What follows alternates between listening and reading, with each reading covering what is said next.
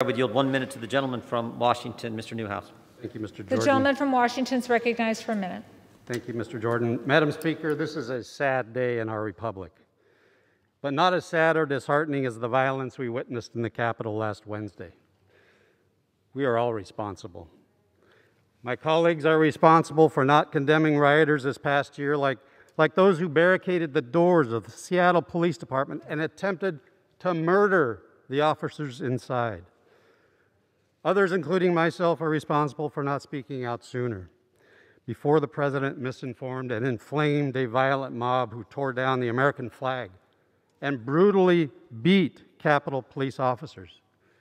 Madam Speaker, we must all do better. These articles of impeachment are flawed, but I will not use process as an excuse. There is no excuse for President Trump's actions. The president took an oath to defend the Constitution against all enemies, foreign and domestic. Last week, there was a domestic threat at the door of the Capitol, and he did nothing to stop it. That is why, with a heavy heart and clear resolve, I will vote yes on these articles of impeachment.